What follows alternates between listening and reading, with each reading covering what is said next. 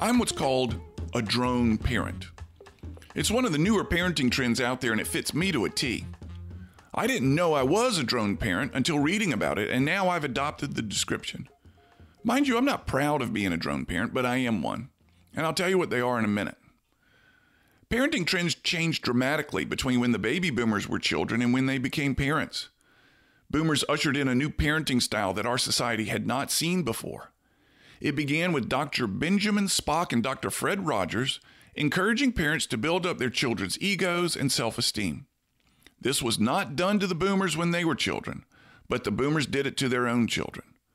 Dr. Rogers, during his PBS TV show Mr. Rogers' Neighborhood, would look into the camera and tell his viewers, young children, that they were special and that there was no one else like them in the world. It caught on, and parents have done it ever since. Even I do it, and I study the trend and how it has negatively shaped employees in today's workplace.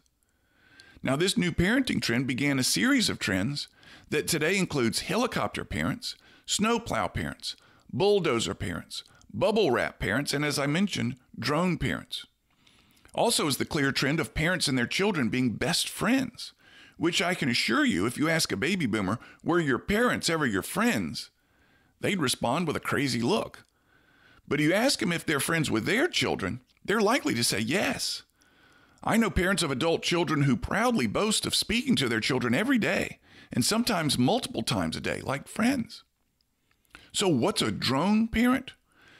First, a helicopter parent hovers over their child, never letting them get far without adult supervision. Helicopter parents are there to protect the child from anything that may go wrong and enhance every part of that child's life. They hover, they protect. Us drone parents, we're different. We're committed to raising what we call free range kids. We still keep an eye on our kids, though not directly above like a helicopter parent, but way up high like a drone. We watch the kids, but try not to let them know we're watching. The kids only realize we're watching when we strike. And when we strike, we hit them hard. It's shock and it's awe.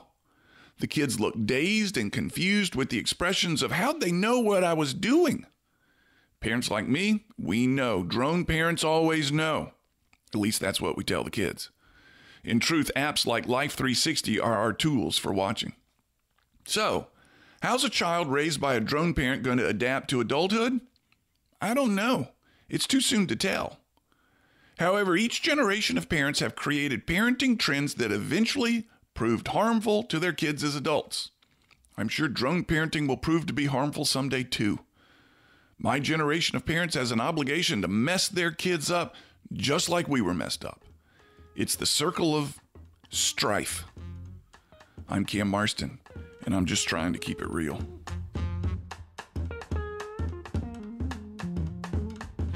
To hear more of my Keeping It Real commentaries, enter Keeping It Real with Cam Marston into your Facebook search bar or search for Keeping It Real with Cam Marston at your favorite podcast site.